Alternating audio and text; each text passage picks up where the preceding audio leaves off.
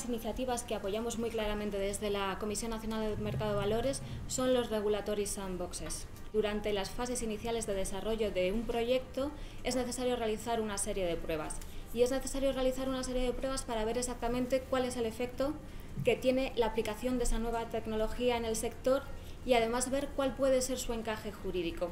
El reto desde el punto de vista regulatorio es cómo en esos moldes se encaja eh, pues eso, nuevas tecnologías y nuevas formas de hacer las cosas que son absolutamente disruptivas. Hace falta agilidad, o sea, que eh, se puedan modificar los moldes y se puedan adaptar a nuevas realidades de una forma ágil. Para maximizar el beneficio del, del, consumidor final, pues puede existir una tendencia de eh, convergencia, porque al final ambos mundos tienen cosas positivas. el sector tradicional, para resumir, eh, la seguridad, la confianza en la marca, la estabilidad.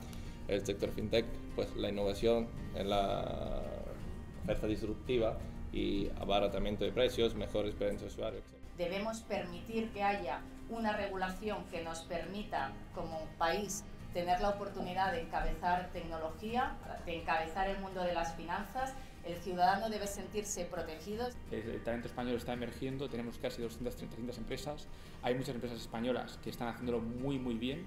Incluso en este entorno, por eso digo, de héroes, estamos consiguiendo realmente hacer mucho trabajo. Que la gente entienda que la información es poder, que la gente entienda que si estás fuera, que si tú sabes cómo eres, que si tú sabes que hay muchas alternativas, que puedes entre 50 entidades elegir y alguien te lo hace fácil, es mucho más, mucho más fácil, ¿no? Los fondos de capital riesgo, y esto está estadísticamente probado, no saben cuando una compañía entra en el portfolio cuál es la que de verdad les va a devolver el fondo. No lo saben. Y por lo tanto lo que tiene sentido es tomar muchas pequeñas opciones, opciones reales. La, la criptomoneda pueda facilitar de alguna manera la ocultación eh, y facilitar de alguna manera los, las actividades delictivas. Bueno, hay una sensación de que tráfico de armas, tráfico de drogas han existido con el dólar, existían cuando el dólar tenía paridad con el, con el oro y seguirán existiendo en el futuro. Más allá de tecnología o no tecnología, eso es el tema fundamental. Yo creo que el gran problema ahora que tienen a nivel de, de management de la banca es que evidentemente nadie quiere tomar estas decisiones muy difíciles y la otra es que este management al final tiene incentivos financieros a muy corto, corto y medio plazo. Nadie tiene interés a largo plazo. Claro, y es que hay que seguir haciendo mucha pedagogía en el mercado sobre lo que es fintech, sobre las ventajas y las potencialidades que tiene y sobre todo pues dando voz a todas estas startups que están tratando un poco de, romper todo el mercado financiero. El reto también es eh, evitar la confusión de quién está supervisado y quién no.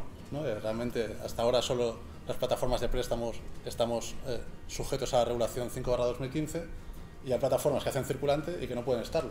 Y nos crea un problema a todos, tanto a, los que no pueden estar regulados como a nosotros, porque tenemos que explicar a nuestros clientes por qué nosotros sí, ellos no, o, viceversa. ¿no? Entonces, yo creo que, bueno, como os ha comentado, la actitud es buena, que tenemos una regulación razonablemente buena, entonces encantados de seguir hablando con, con ellos para mejorarlo.